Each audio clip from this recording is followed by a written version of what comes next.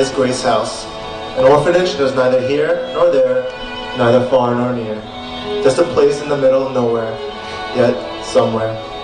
A place for children lost and for lost children.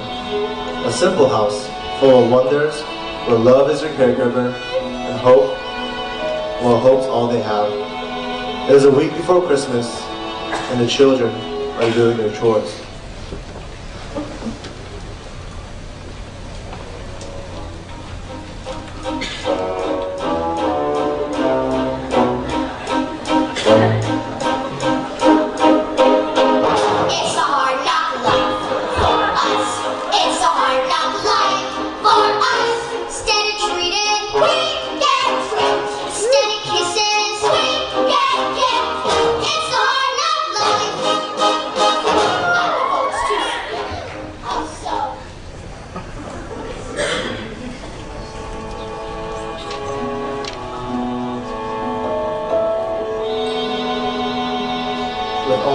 Chores done, the dinner bell rings, and the children gather to eat their one course of meal of soup and bread.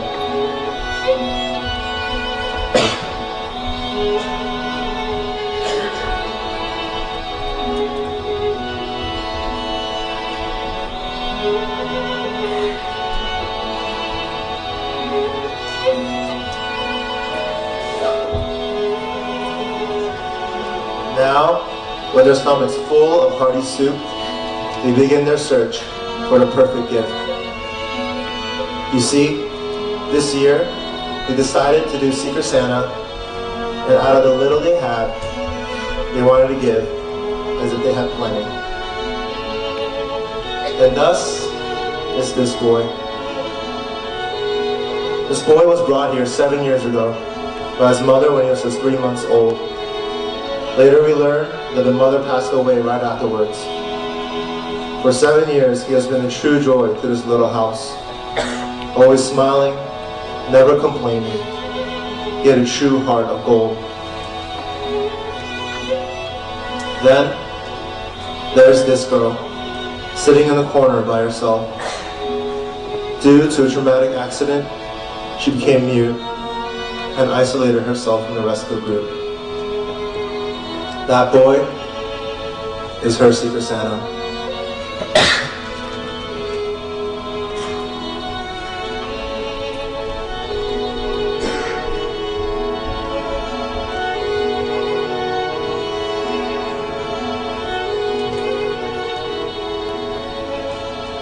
It is Christmas Eve, and the exchange is at hand. All the children are excitedly anxious to give and receive their presents.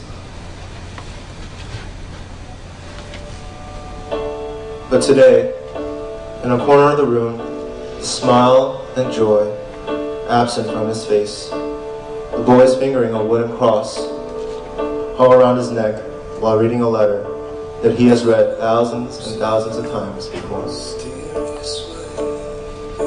My son, I am so sorry, but it seems that God had his own plans for me. I wish that I could be here with you, but I can't. I pray that you grow to be a great man of God that strives to be like Christ, for he is where true joy lies. My son, your father knows about you and will come to get you, but he cannot now.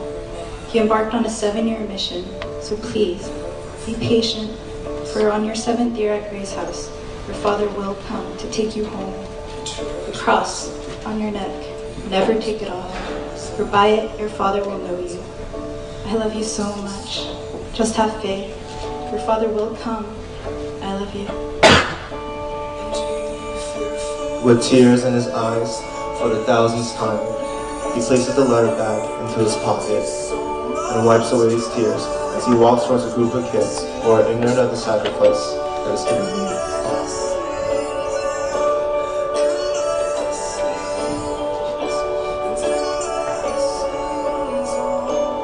children have just finished exchanging, and now the boy turns to give his gift. With a deep breath, he walks towards her. He takes off his cross and places it around her neck. And then immediately a knock on the door resounded through the house. And there stood a man bearing gifts for all. The boy's father has arrived. He asks the kids to line up to receive a gift, and the boy lines up first. As he gives the gifts one by one to each of the children, his eyes are ever searching for a cross, just like his.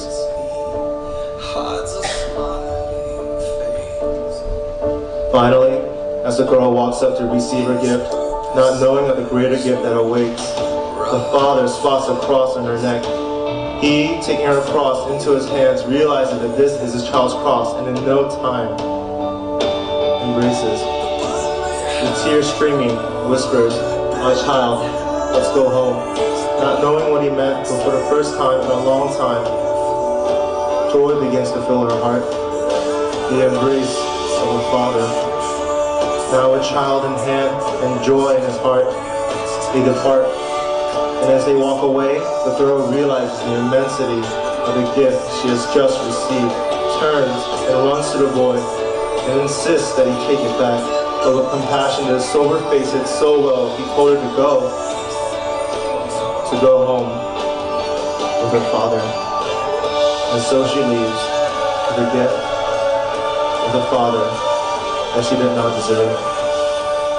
Through the cross, he gave her a new life. Through the cross, he gave her his father.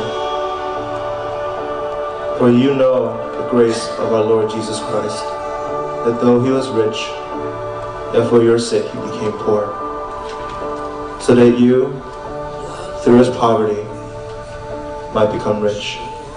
2 Corinthians 8 9.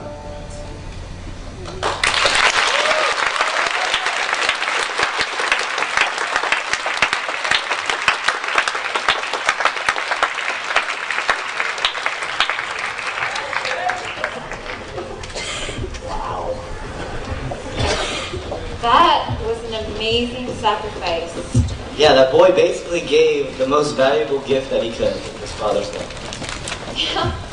I don't think I can even imagine giving up something that precious. And I think that's why it's so hard to grasp what Jesus actually did for us uh, on the cross. I mean, without that boy's sacrifice, that girl would have never experienced that kind of new love and life. I mean, that's exactly what Jesus did for us. I don't know, I just, I, I can't, I don't understand how someone could do that for another person, you know? Well, you mean you wouldn't, you wouldn't do that for me? Wait, you would for me? Yeah, I know. I mean, we are pretty close friends, like really close friends. You know, we were in family group together your freshman year. I helped you transition into college. Um, we've had good laughs together, good times together. We MC together right right now. But Josh, I, I mean, that's all true and all, but, but we're talking about Jesus' love right now, which is a little bigger than whatever it is you're talking Okay, about. Okay, all right, yeah, that's true. I'm just I'm just saying, you know, we're, we're really really close friends. You know, we're really tight. And, I mean, sometimes we even finish each other's sentences. Josh, I don't think we've ever finished finish each other's sentences.